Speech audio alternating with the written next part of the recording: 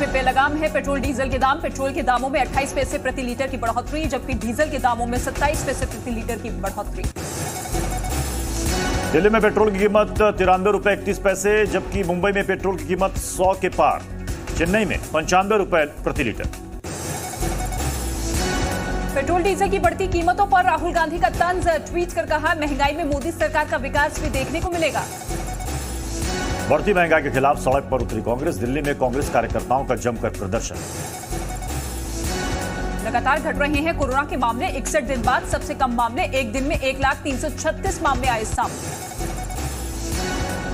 24 घंटे में 2,427 मरीजों की मौत एक लाख चौहत्तर हज़ार से ज़्यादा मरीज़ हुए डिस्चार्ज। एक्टिव केस 14 लाख एक हज़ार से अधिक। कोवैक्सीन और कोविशील्ड वैक्सीन को लेकर बड़ी खबर। एक स्टडी के मुताबिक कोविशील्ड कोवैक्सीन की तुलना से अधिक एंटीबॉडीज बनाती है। पाँच सौ बावन हेल्थ केयर वर्कर्स पर दोनों वैक्सीन को लेकर की गई स्टडी स्टडी में दोनों वैक्सीन को बताया गया प्रभावी। वैक्सीन का इम्यून रिस्पांस भी रहा बेहतर।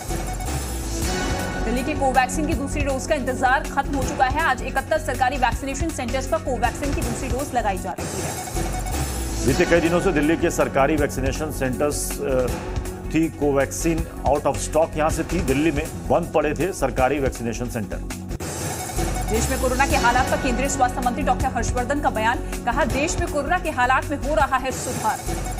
दिल्ली अनलॉक पर सीएम केजरीवाल का ट्वीट कहा कोरोना संक्रमण से बचकर रहना अर्थव्यवस्था को फिर से पटरी पर लाना दिल्ली में आज से ऑड इवन के आधार पर खुले बाज़ार मॉल और शॉपिंग कॉम्प्लेक्स मोहल्ले की सभी दुकानों को भी खोलने की इजाज़त। दिल्ली में 50 फ़ीसदी क्षमता के साथ पटरी पर लौटी मेट्रो पाँच से 15 मिनट के अंतराल में चल रही है मेट्रो।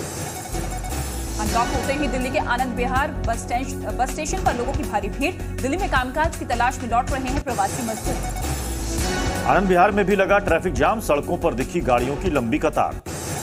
दिल्ली के अनलॉक होते ही सड़कों पर लगा ट्रैफ़िक जाम। आईटीयू के पास रेंगती दिखी गाड़ियाँ भारी संख्या में लोग सड़कों पर निकले।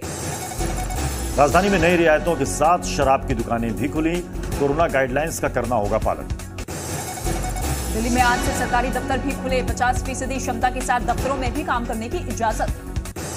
दिल्ली में फ़िलहाल जिम स्पा सैलून नहीं खुलेंगे। Barber shop beauty parlour swimming pool खोलने की भी इजाज़त नहीं। दिल्ली में एजुकेशनल और कोचिंग इंस्टीट्यूट फ़िलहाल बंद कर दिए गए हैं सिनेमा और थिएटर रेस्टोरेंट और बार खोलने की भी इजाज़त नहीं। यूपी के चार जिलों को छोड़कर पूरा प्रदेश कोरोना कर्फ्यू मुक्त दिल्ली से सटे नोएडा में भी कोरोना कर्फ्यू हटाया गया। नोएडा में आज से सभी दुकानें बाज़ार खुले सरकारी कार्यालयों में भी 50 फ़ीसदी स्टाफ के साथ काम करने की इजाज़त।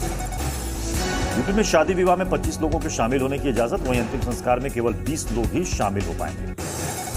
महाराष्ट्र में आज से लॉकडाउन में ढील जिन शहरों में पॉजिटिविटी रेट पाँच फ़ीसदी से कम वहीं पूरे तरीके से अनलॉक किए जाएँगे। मुंबई में आज से बस सेवा फिर से शुरू। सीटों से ज़्यादा यात्रियों की इजाज़त नहीं। यात्रा के दौरान मास्क पहनना होगा ज़रूरी। बस में यात्रा करने के लिए लोगों की लंबी कतार लगी। सोशल डिस्टेंसिंग की उड़ी धज्जियाँ। हालाँकि मास्क लगाए नज़र आए लोग। मुंबई के बांद्रा में चार मंजिला बिल्डिंग का कुछ हिस्सा गिरा। हादसे में एक शख्स की मौत। पाँच लोग घायल। हरियाणा में टोहाना में गिरफ़्तार दो किसानों को छोड़ा गया। किसानों ने टोहाना थाने का घेराव नहीं करने का फैसला किया है। पाकिस्तान में दो ट्रेनों की टक्कर से बड़ा हादसा। हादसे में 25 लोगों की मौत जबकि 50 से ज़्यादा लोग घायल। मिलत एक्सप्रेस और सर सैयद एक्सप्रेस के बीच टक्कर हुई। यह हादसा सुबह के समय डहार की रेलवे स्टेशन के पास हुआ। पाकिस्तान के कराची में रविवार को हुए दंगे। सैकड़ों प्रदर्शनकारियों ने कराची हाउसिंग सोसाइटी में कई दुकानों और गाड़ियों में आग लगा दी। पुलिस बल की तैनात होने के बावजूद प्रदर्शनकारियों ने बैरिकेड तोड़कर सोसाइटी में दाखिल हुए। पुश्तैनी जमीनों से बेदखल किए जाने का विरोध कर रहे थे। पाकिस्तान के बलूचिस्तान में हिंदू व्यापारियों और दुकानदारों को मिल रही है जान से मारने की धमकियाँ। व्यापारी अशोक कुमार को अज्ञात लोगों ने उतारा मौत के घाट। बलूचिस्तान के बाजारों में हिंदू महिलाओं के बाज़ार में घूमने पर पाबंदी।